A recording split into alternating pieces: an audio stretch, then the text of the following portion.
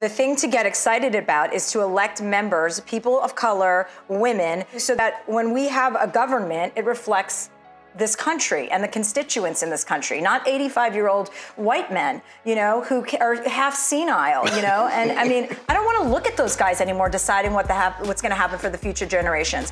And I think, you know, in, in all of these tragedies with Parkland and all of these shootings at schools, finally, there the silver lining to that is the galvanization of young people saying no fucking more. I think it's important to remember that like these people's lives have been impacted in a way that is irreparable and, yeah. and they are going to show up at the polls. And Everybody just needs to get somebody who doesn't vote and convince them why it's so important and find that one issue that means something to you, whether it's gay rights, whether it's cannabis use, whatever.